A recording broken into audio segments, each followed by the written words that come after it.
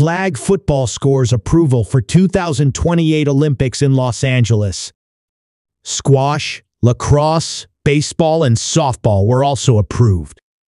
The International Olympic Committee approved flag football and other sports for the 2028 Olympics in Los Angeles on Monday. Cricket, baseball, softball, lacrosse, and squash were all approved for the program as well. Flag football and squash will be making their debuts while cricket, baseball, softball, and lacrosse will be returning. Cricket was last played in 19.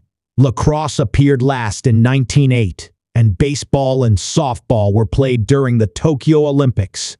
All five games were voted in as a single package, with only two no votes across 90 IOC members in Mumbai, India. We want L.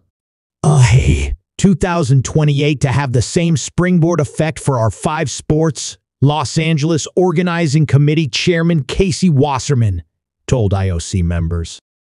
In L. A. We are dreamers and doers.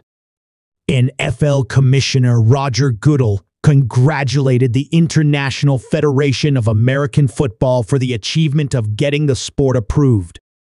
It's a tremendous honor for any athlete to represent their country at the Olympics, he said in a statement.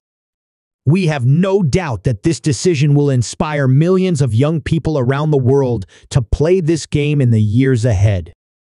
The NFL is committed to working together to strengthen flag football's place in the Olympic movement long term, and we look forward to continuing this exciting journey with IFAF, the LA 28 Organizing Committee, the International Olympic Committee, and USA Football. NFL players could be approved to play on a flag football team. Former NFL star Rob Gronkowski expressed interest in donning the red, white, and blue if that should happen. Count me in already, he told TMZ Sports. Hopefully, there's no tryouts and they just accept me. But I'm in. I'm going for that if there is flag football in the Olympics in 2028. USA going all the way.